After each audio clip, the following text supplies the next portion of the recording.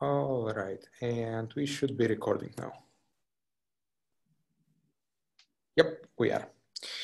Okay, so hello everybody. Uh, Volker and Rod are not here today, so I'll be your host for this meeting on June 22nd for the IPLD team. Uh, and uh, yeah, so we have our normal HackMD pad, and uh, I will try to take notes, even though I am not really good at that.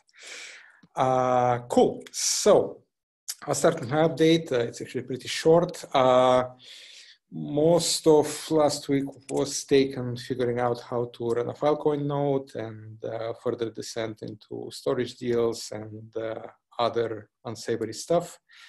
Um, hopefully we will actually have uh, a deal by tomorrow. I'm waiting for the team which uh, works on the retrieval market stuff to put things on the test testnet network.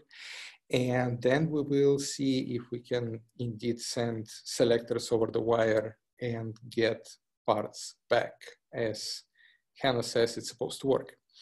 Uh, but nobody has tried this yet. It's all like the types are there, the code supposedly is there, but nobody ever ran this. So we'll, we'll see how that goes. Um, and uh, other than that, I got a little bit closer on uh, the Dagger streamer uh, from the file system.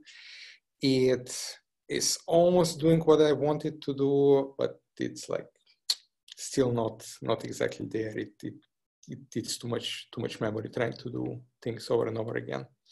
Um, another another thing, by the way, uh, I uh, had a moment to try the new um, uh, the new ARM-based uh, AWS instances that they released uh, for general availability on the 11th, I believe, and they can actually rival an AMD R9 when it comes to processing stuff in a stream. So I am able to get on these ARM instances that are like 40, 40 bucks a month. I'm able to get about a gigabyte and a half per second throughput with actual hashing and everything. So that's an interesting thing to consider maybe for something like Dumbo Drop further down the further down the line instead of lambdas to actually have you know stuff on on diamond boxes. Um, and that's pretty much all I have for this week. Next, I have Eric with a lot of notes. Well, I have no short-term memory when I speak, so I have to like pre-write the entire thing, or I just make a lot of sounds. um, yeah, so so this last week, uh, I tried to implement an advanced data layout because we had had some discussions lately, and it sounded like there was some worries that we just don't have enough proof that we know what we're doing with these, that our plans are actually well formed. So I tried to just do the thing and see if I had trouble. Um, and so I initially I was going to try to bite off doing HAMTs, but I thought, eh, that's a bunch of things. Um, and so instead, I just sketched out the simplest thing possible to make a dummy example advanced data layout. So I invented the concept of a fan out map and started implementing that. And all this is, is for every value in the map, we're just going to encode it in a new block and put links to them in the map internals, and then that's it. So uh, this is like probably a totally useless data structure. You would be very unlikely to use this, but it should be a proof of the interface is working correctly. And so far, um, no major roadblocks. The strategy of just conform to the node interface seems to be working, at least in this Go code. Um, the biggest problem I'm probably having is that it turns out the amount of boilerplate I'm needing in writing some of this stuff, writing another node implementation, uh, is turning out rather high. And that's starting to get to me because it's not a blocker, but very irritating in the code gen work as well. So seeing it crop up in another example is making me, I'll talk more about that later. Um, the other thing that's interesting about trying to do an ADL interface uh, has been that there's just a lot of things that go into setting one of them up. So, like you need all of these pointers. You need a pointer to the link loader function to make your readable thing. Um, you might have a bunch of configuration stuff for it that would be specific to the ADL. Um, uh, one thing that I was tempted to put in there, but I'm probably going to rip back out, is you might need a pointer to the um, node prototype for the internal structure node that you're going to use. Um, and I think I'm going to rip that one back out because that's just the kind of configurability that, that I think you shouldn't need. Like ADL internals should be allowed to be opinionated about the memory structure they're using at runtime.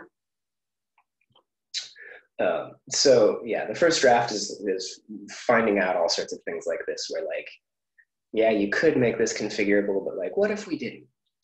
Um, so a little bit more work on that will probably be forthcoming, and I want to generate some design decision documentation around this. Um, the good news is that all of the major interfaces seem to just be working. Um, this node prototype concept that got introduced, also sometimes referred to as node style, um, does also seem to be really helping here because that gives me a place to put all of these configuration things for the ADL in one place in memory. And so then you get to use the normal node builder to actually fill in the content. And none of those function signatures need to be different because all of the fiddly bits for the ADL, any internal configuration for it happen in the prototype where comes along. So that is a huge relief and working really well. Uh, yeah. Um, I probably won't talk too much about my boilerplate problems, but long story short, I have to add a lot of darn boilerplate methods to every new node implementation I make. Like if I'm making this new ADL, it's going to act like a map. I have to add all of these methods to match the interface. Like, can I be coerced to a string? And the answer is no. And Go is not being helpful for me in trying to make this concise uh, embeds do not quite give me the ability to do what I want, or at least they don't give me the ability to um, have error messages that include the type information in them. Because when you have an embed, it only sees itself. It has no way to reference the thing that it's embedded in. So it just literally cannot do this. Um, and in so many other languages, this would be easy. It's like the extends keyword in almost every object-oriented language, but I just can't do it in Go. Um, I've tried increasingly fancy things like using runtime tricks to peek into the call stack info and see if I can extract relevant names from there. And I can't. That doesn't work. Go is very consistent about the logic it's using here. It's just consistently not what I want today. Um, and this is driving me a little bit nuts because I've also dived into the assembler and like the information is there there is an auto-generated method stub, yeah, that has exactly the relevant information I want on the interface that is embedding the other thing. But I can't see that. There's no interface for me to get this that I have found yet. If anyone on the internet is watching this and knows a cool gopher trick, please get in contact with me and solve my problem. Meanwhile, I am sad and the boilerplate is plentiful, but everything works. It's just annoying. Thin. I'm really frustrated by Go lately. I don't know if that's coming out, but. Have you considered, uh, you know, this uh, experimental implementation that they released that has generics just write against it, and after a year and a half, we'll just. yeah, I want to get things into people's hands faster, and I don't want to build on shifting sand like that. Also, I'm not sure it would help. Well, the the boiler sure method think will help, no? I haven't looked enough to say with confidence that it's irrelevant, but I would be surprised if it is relevant. Like what I want in other languages here would not be generics. It would be like traits or subclassing or like some other virtual type inheritance thing. And I so I would be very surprised if Golang's definition of generics is so interesting that it would actually apply to this. It's possible. I don't know. It basically sounds like the stuff that you were talking about it will surface. In order for generics to work as described in the blog posts, exactly this info that you're missing for the errors and so on and so forth needs to be transported somewhere visible. So you won't have this problem anymore. But I don't know.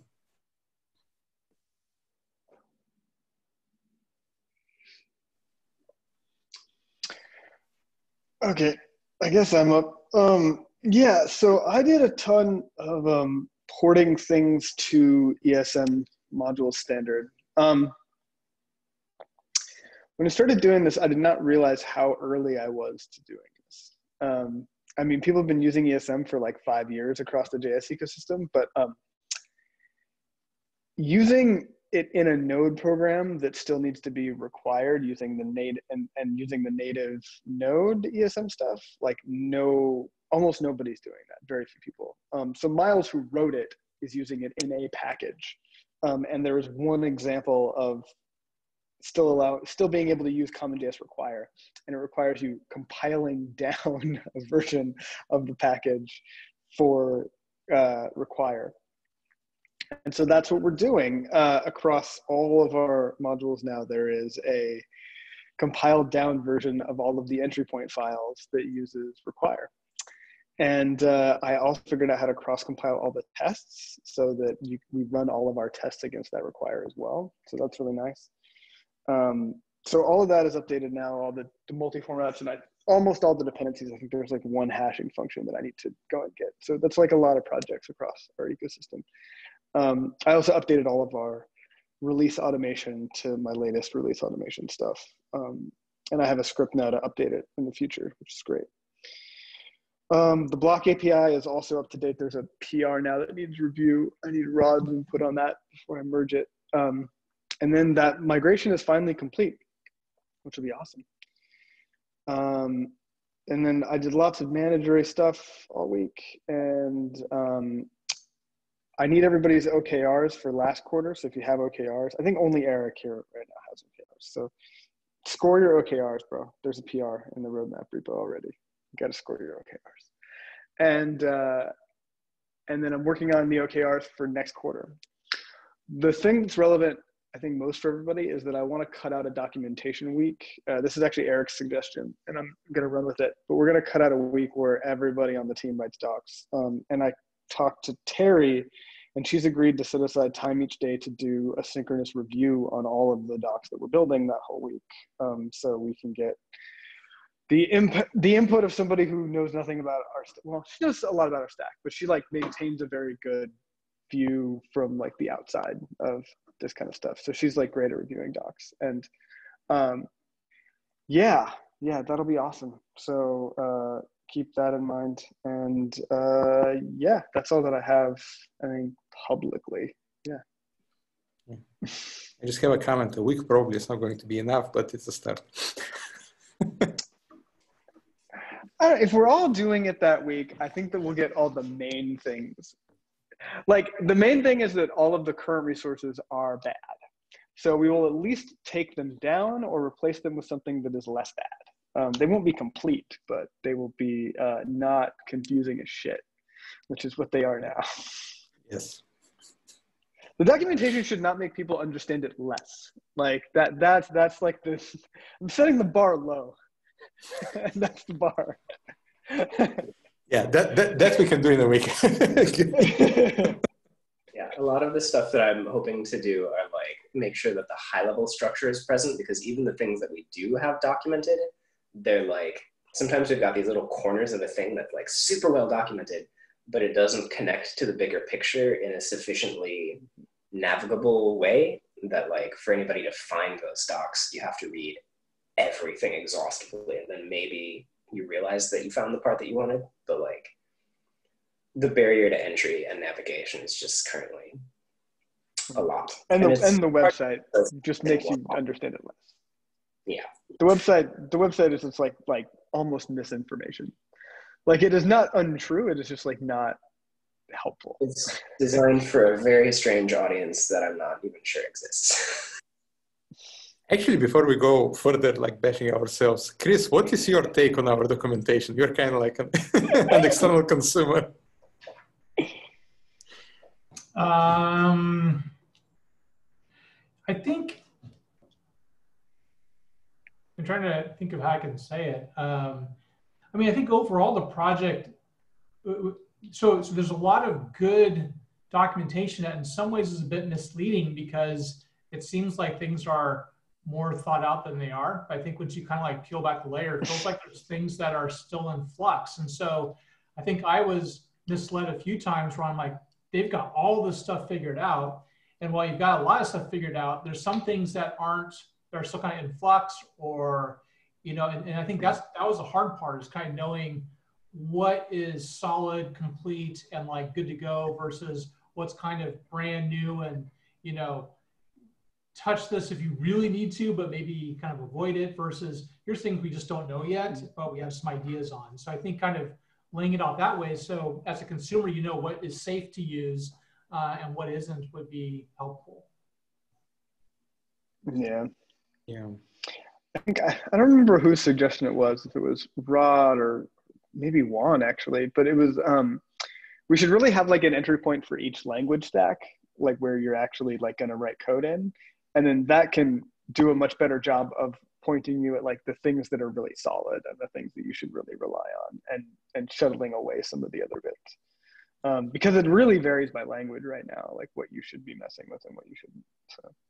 Yeah i think that's true too. Like i came in um, from a javascript point of view and it was later i found that well it wouldn't take that long to realize it goes kind of like you know the most mature advanced thing. Um, and actually, kind of a lot of stuff step, that kind of gets done there first and trickles down. But um, actually, that's probably not totally true. But I think in general, within IPFS, that's generally how things work. Uh, in IPFS, yeah, yeah, for sure. Yeah. Actually, IPLD um, Go is kind of not as far well, as goes like transitional. So, yeah. well, so like the the new one is like not quite done but definitely ahead. And then the old one is like older than all of the JavaScript stuff. But then the JavaScript stuff has like a bunch of things that are still relied upon in IPFS that are the old thing. So, yeah. yeah. yeah. It might be actually good to say uh, if you are, yeah, I don't know how to deal with the different language thing because it's going to be differences between them in terms of maturity and readiness and whatever. But I do know one thing. Mm-hmm. I think like for people that are just trying to get their head wrapped around it, maybe a maybe a pointer that says uh, like what you know. I'm trying to think like use this language and you can do this with it successfully uh, because you know they, they may use Rust or something and you know they get stuck because it's kind of like so much in flux, right? So I think having a place where you know you can go and something you can count on would be good. I don't know my thoughts. Yeah. I think some of the the libp2p project has engaged with this a lot too because they definitely had similar problems where like as that project exists in originally two languages really heavily and now like I don't know how many they've got many different languages coming on now. Um, they've definitely had the same thing where it's like, oh yeah, the DHT module or something works great in this language and like very experimental in this other language and it just doesn't exist in these four new languages yet. And um, they had a whole page of the website that I remember you could scroll down pretty long and it would have like lots of lists of maturity level scores. Um, I think I remember people from that project saying that they had some beefs with the way that they engaged that too. So I don't know, maybe we should just ask them what their final feelings are. Yeah, well, like I think it's because there's like a gatekeeper on like when you decide something is mature. And so, and they have a bunch of stuff that's being built by a lot of like other grants from Ethereum. Um, so like, where do you rank the relative maturity of the Rust stack uh, compared to the JS stack when the same people just aren't working on either one? So how do they compare to each other? Yeah. Um, because the Rust stack, like, a lot of work has gone into that Rust implementation. Like, like but who is to say what the relative maturity is? Nobody knows both code bases well enough. You know what you need is, or they have that in a JavaScript world, that like to-do app, which you implement on different languages and, and frameworks. Sorry, thank you. Mm-hmm. Yeah. uh, and then you could actually see um, you know, maybe something like that could kind of help as a to-do app for IPLD. I don't know. I think like I was just thinking about this. Um, one thing that I did in the new JS multi-formats library that you can go check out is uh, because you, you have to go and implement all these plugins for hashing functions and codecs, I started to actually put in tables for all the known ones. Um, and that actually looks really nice. And so I think in the new website and the new docs, we can do that in each language and they'll all be fairly comparable, right? So like for the multi-format stuff, like here's all the hashing functions, and then like, oh, you can see that like maybe one language doesn't have as many as the other one. Um, and then when we get into IPLD, you could even do it for some of the advanced data structures, right? So like, here's our HAMT, like here are the implementations in these different languages. Like, oh, you see like that language doesn't have it yet, it's probably a bit behind. Um, or, you know, here's like schema validation libraries and stuff like that, like in, in each one.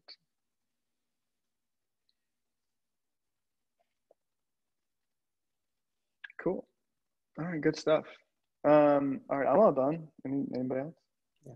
Um, I guess I, uh, Chris, I'm going to put you on the spot again a little bit. Uh, this uh, conversation that we had with Mikeal about um, the maturity of the uh, flexible byte format, uh, is this something that like helps you the way it is right now, or there are things that are basically missing from your point of view? Or you haven't had a chance to read that yet? I, I haven't had a chance. I, I, was kind of waiting for it to the dust to settle, um, but I am like so close to actually starting on my Rust implementation of what I'm doing, and that's something I'm going to you know, look at right away. So I have a busy day tomorrow, but Wednesday I have time again.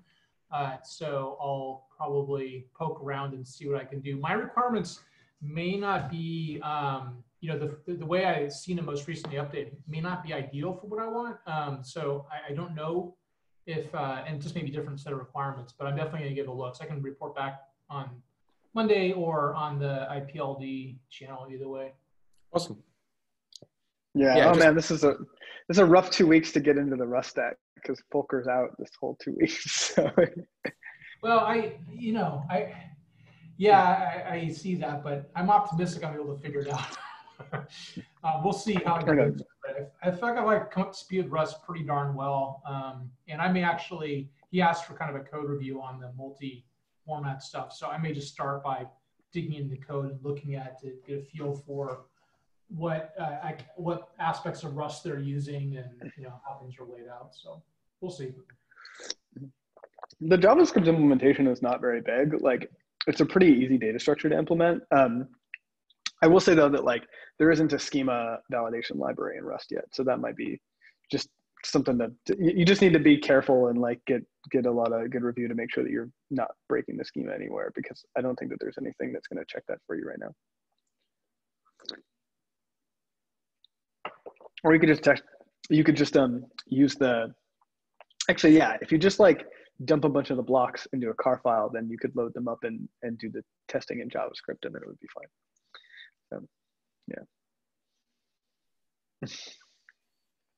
yeah, car files actually work across across stacks now. It's it's, it's kind of awesome. Yeah. Um, so I uh, one one more thing from my side, uh, kind of on the heels of what I just asked Chris. Sorry. Um, I raised this issue about um, what are ints in schemas and we're kind of saying like, well, it's just a number.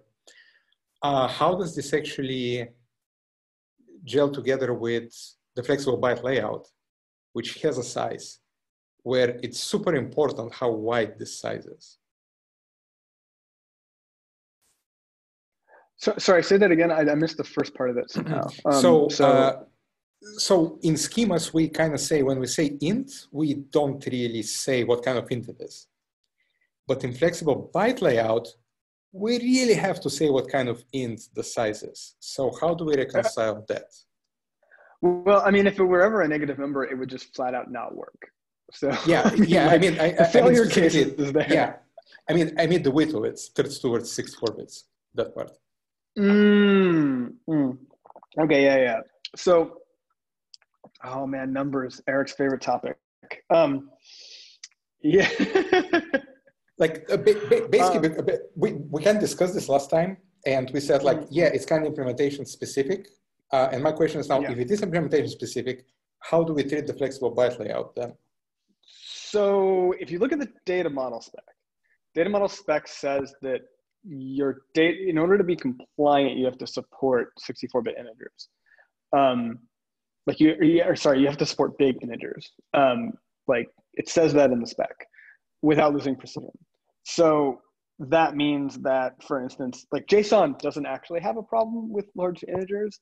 Um, JavaScript has a problem with large integers. So we can't use like the regular JavaScript parser. We have to use one that will recognize it and use big integers um, for that reason. Or I think just use a newer, I think that the latest VMs have JSON implementations that will detect it and use a big number. Um, so that works now. But um, anyway, yeah, so it's sort of the job of the codec implementation to make sure that when it gets a large number that it puts it into the proper large number format for that language. Okay, so basically as far as, a schema is concerned, our integers are essentially uh, arbitrary precision. Yep. yep. Okay, that, that, that's the part I was missing because we actually don't say this anywhere mm -hmm. in the data model yes. Right? Yeah, I think I think, I think the, mer- the, the merged docs are insufficient on this um, we, I think our agreement is basically that yes, we're going to treat things as roughly infinite precision. Um, we've struggled with how exactly to phrase that. Maybe we should just say it. um, some of the clarifications that I use to make this not keep me up at night is uh, we don't do math in IPLD, and thank God, because that means that we get to care about this a hell of a lot less, and we can safely punt it to. That's implementation specific much more reliably because all of the things that we're punting to be implementation specific are it works or it should error real hard. there are no undefined transitions where like math occurs and it does something weird or something else. It's do something or halt. And so I assume that that would continue to just apply in the internal of the flexible byte aspect. If you start processing some of this stuff with a library that doesn't support big enough integers for the data that you're processing, then it should halt. Right. So basically, we we almost need to define uh, halt on known out of bounds values kind of thing. That is a requirement we, for libraries. I think we should just as well write that up, yeah, because I can't imagine what else we would do. And it's better to say it rather than imply it. No, that's that's actually great. That's no. that's what I would do as well. I just wasn't sure there is sufficient. Yeah. Mike? Well, I can't think of a case in which we do that. So because we, we so we have two we basically have two co- types of codecs right? We have IPLD native codecs and then we have codecs for things that already exist that we're just parsing um, and turning into data model. For the things we're parsing and turning into data model there's like a known like the spec that we read is effectively like we're taking this value and then we're representing it in our data model and our, in our data model says arbitrary precision um, and so each of those languages would have to support whatever precision is in each of those specs. And if it can't support it, then it would have to cause an exception. For our specs, we do say you have to support arbitrarily large integers for our codec specs. We say you, you need to support arbitrarily large like numbers, basically, um, and without losing precision. I mean, we should say that if we if we don't. Well, okay. I don't know if I agree with that because literally none of our codecs will, not a single one of them. Well, what? So it wouldn't be support arbitrary precision. Yeah. No, no. I mean, JSON, the the DAG JSON codec would have a problem with that if we didn't go out of our way to solve it. I mean, the Go one certainly doesn't. Never has in any version. Support large numbers? No. Well, sure? Or, no, no, no, no, no. Wait, wait, wait, wait, wait. Like Go, just like JavaScript does not support them out of the box, you have to do something like you have to use a BigInt. Yeah, right? and there, there's no universally community agreed upon definition of BigInt. Like there is not a BigInt in the standard library that I know of. So oh, there definitely is. Oh, okay. Well, that I know of is an important qualifier there. I, I might be wrong now because I need to see what, what they wrote, uh, like what the base 58 uh, stuff is written against. Uh, I'll get back to you on that. I, maybe there's something in the X series of packages. I don't, I don't actually know. Um, but I can definitely tell you that none of our codecs in any of our things support that right now. Yeah, I mean, like, because what ends up happening is that this turns into a determinism problem um, on read write, right? Because you read data, you don't have a, you, you parse it into something that doesn't have sufficient capacity for the integer precision.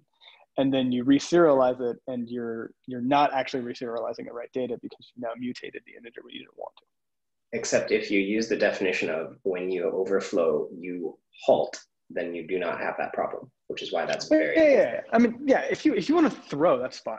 Like if your language just doesn't support it, your language doesn't support it. Like, um, I think that though, if you're going to write the code to halt, you might as well just write the code to put it into a big integer. I mean, yeah, I just pasted it in the chat. Uh, Go definitely has a core math BigInt. I don't know from which version, but uh, from 11 onwards for sure. All right, that's cool. So yeah. Um, Okay, so if we assume that every language that we tar that, that we want to target has some type of BigInt library, then the rest becomes a non-problem or there are still edge cases? So it's it's on the list of things that we need to worry about every time that we deal with a codec.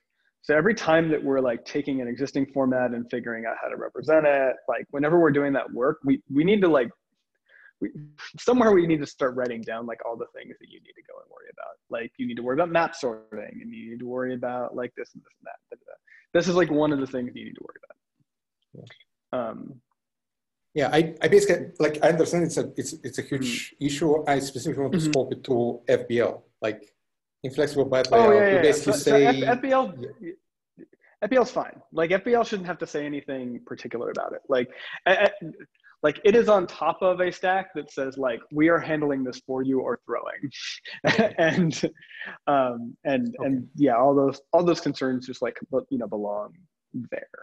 Um i think and, the only thing that we may need to think about is like if if we want to introduce a feature into schemas that allowed you to in your schema say add some specificity to your numbers like for instance, this has to be a negative number or you know, something like that, then um, then or, or, you know this can't be a negative number. If we wanted to add something like that would that would still be a schema feature though, and not a codec feature or an FBL feature. It would be like a schema feature first, and then maybe we use it in that FBL. Um, but you know that's a different conversation about like schema features.